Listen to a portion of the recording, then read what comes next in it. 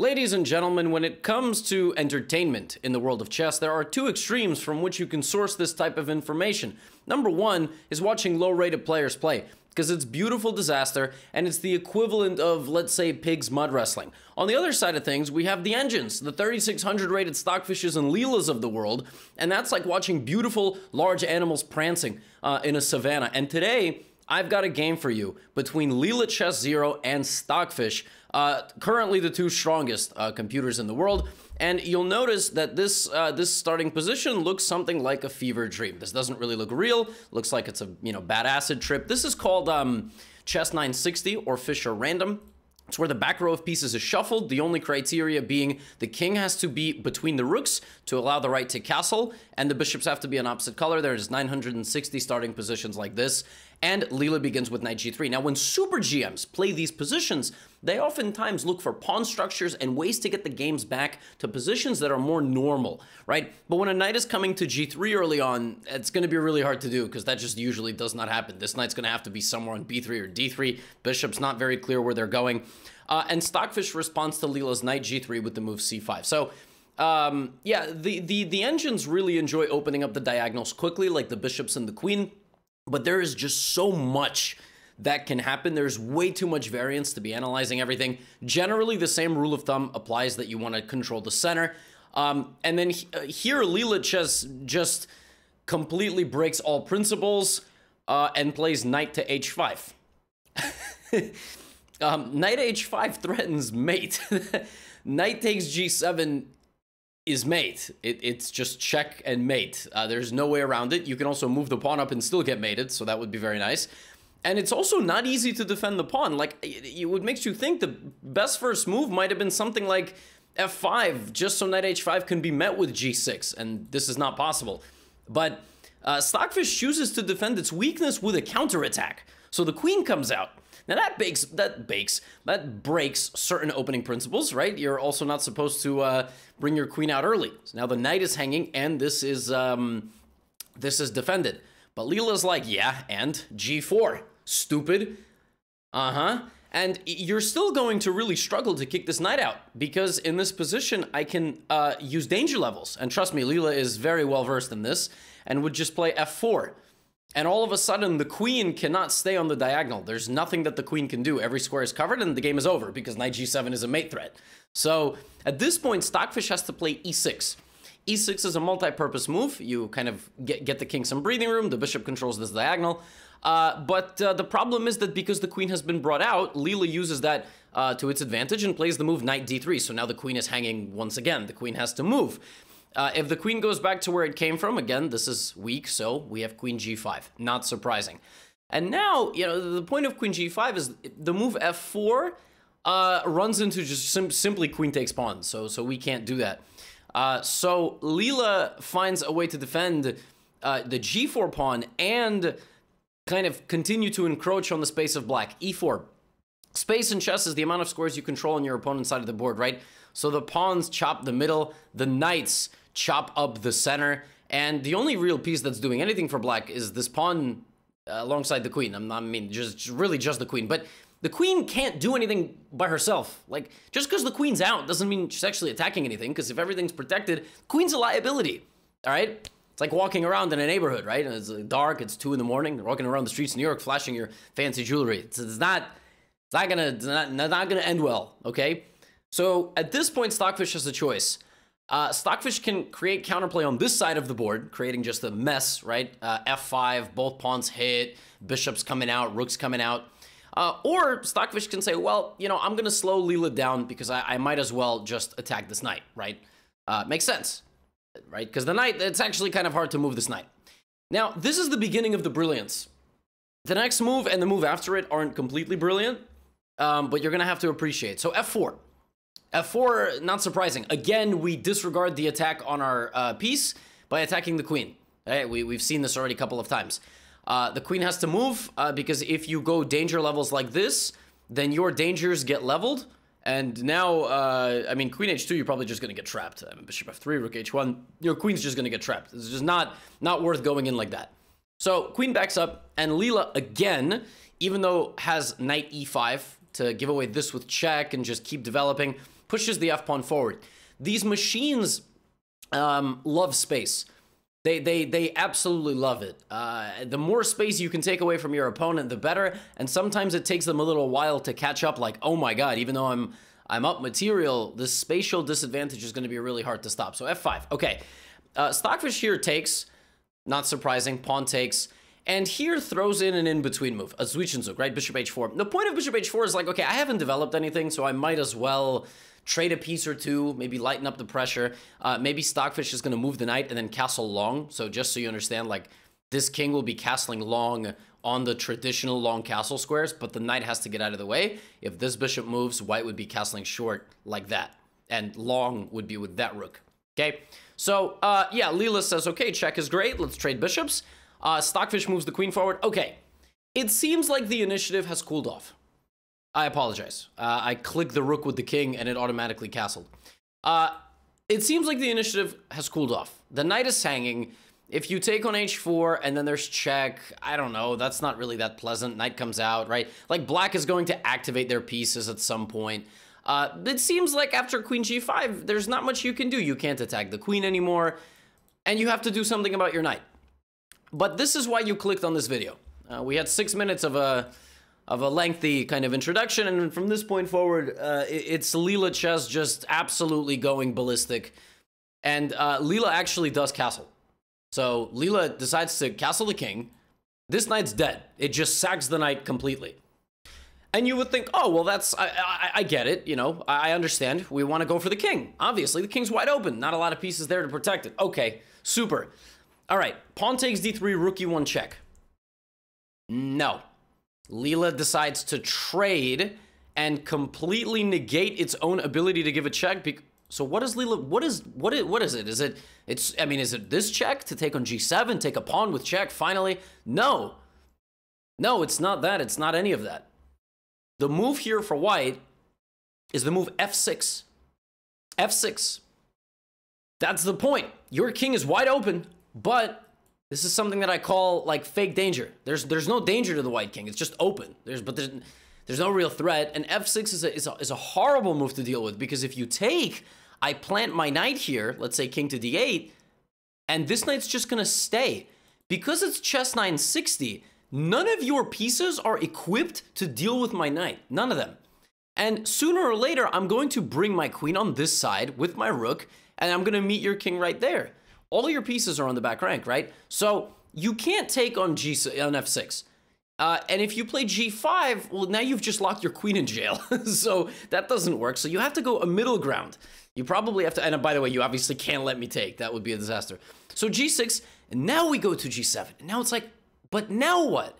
You've locked your knight in jail. Black is going to go g5, knight, like, black is a couple moves away from getting all the pieces out, right? So what does Leela do? Just takes the pawn. Just takes the pawn, like, like nothing. Uh, just cd5, uh, cd3. And why? Well, let's say black begins active operations, right? h5. Queen c2. Black's like, bishop h7. Rook c1. Uh-oh. This attack is devastating. That's mate. Queen c7 is mate. It is a check and a mate. That's it. You lose. You can't stop my attack at all. So black doesn't like this sacrifice of the piece to just take back and open up this belligerent assault on the c file is the point. And because black spent a lot of time moving the queen, it's going to take this queen much more time to get like it's, it's going to have to take take some time to get back into the game. But even then, just because you stop my first wave of attack, Leela sees the, the future. It sees that beyond this, because you're going to spend so much time moving the queen back, you're not going to get those pieces out.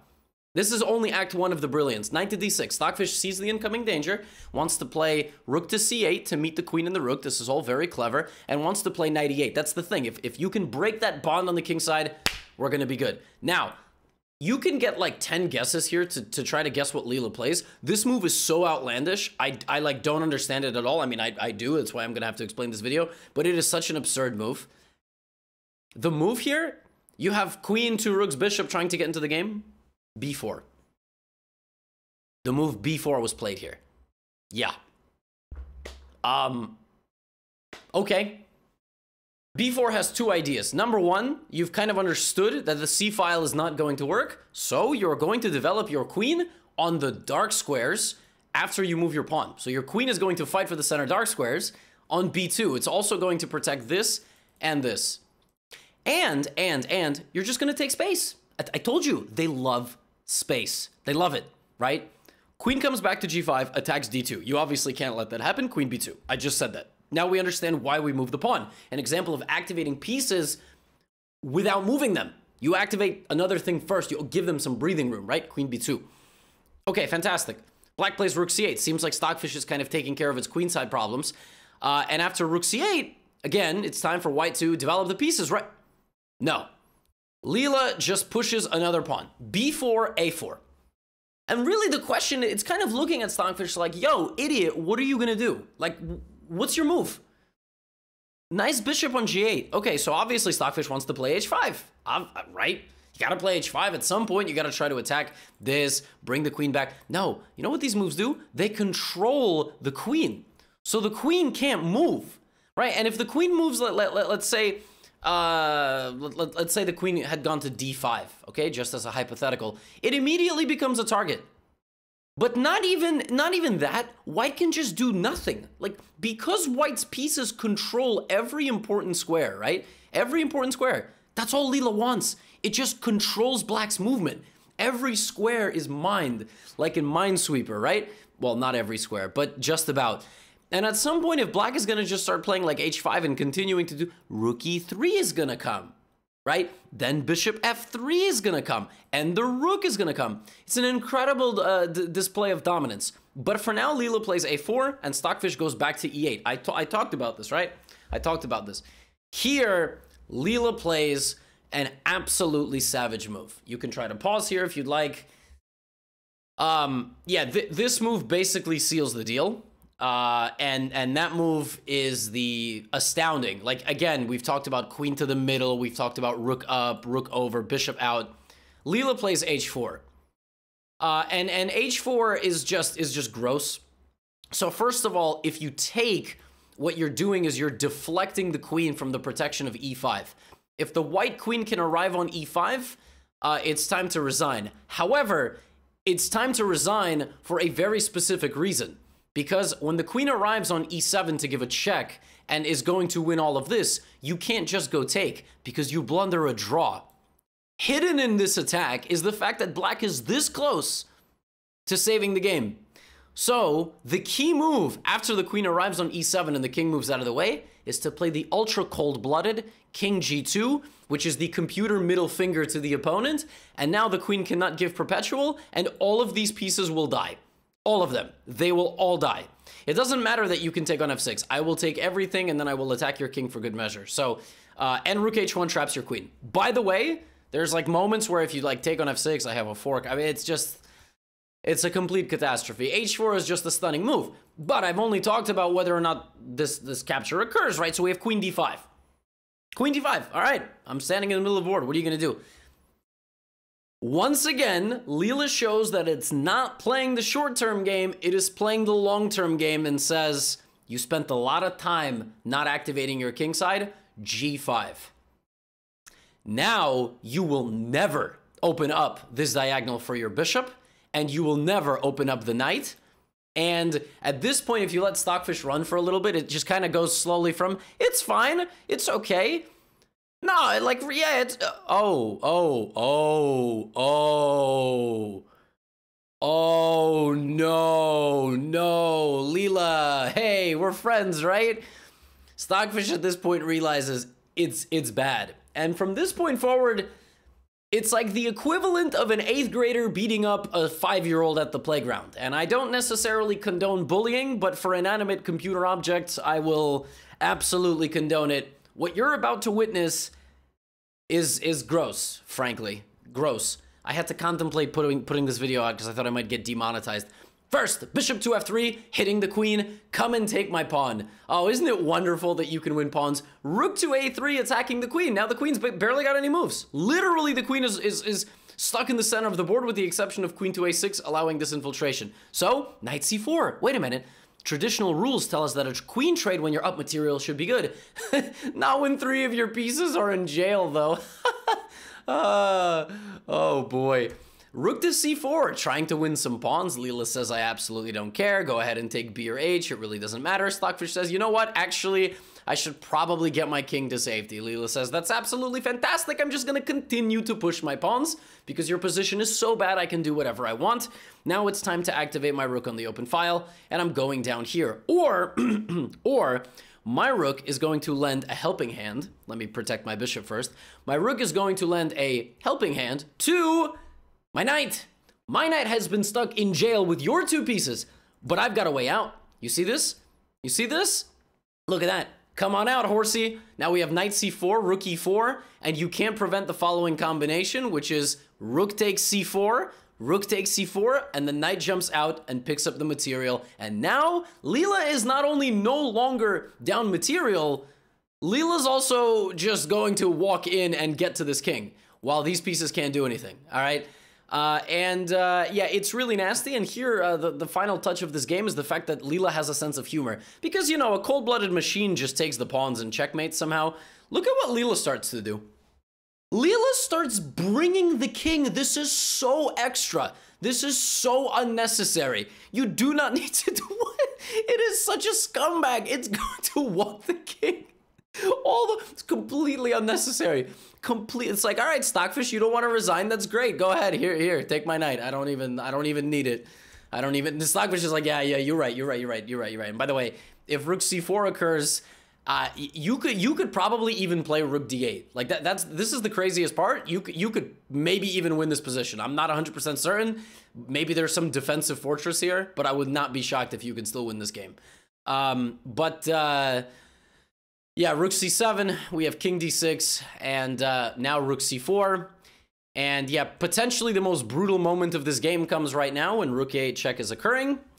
Black is officially stuck with two pieces in the corner. They cannot move.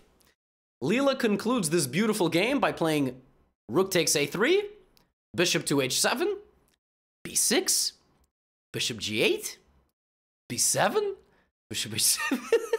and rook a8 mate. Gross. This is one of the nastiest things I've ever seen an engine do. It's the equivalent of sitting on like on a person and just slapping them on the face and asking them what they're gonna do about it. This is playground bullying type of stuff here from Leela.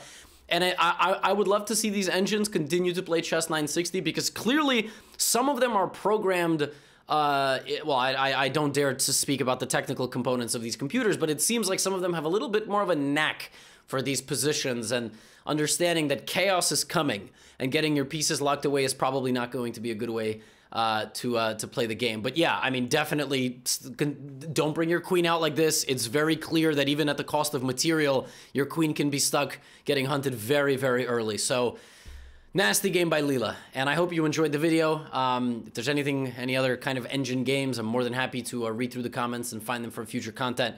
Appreciate you all very much. Thanks for hanging out with me today. I'll see you in the next video. Get out of here.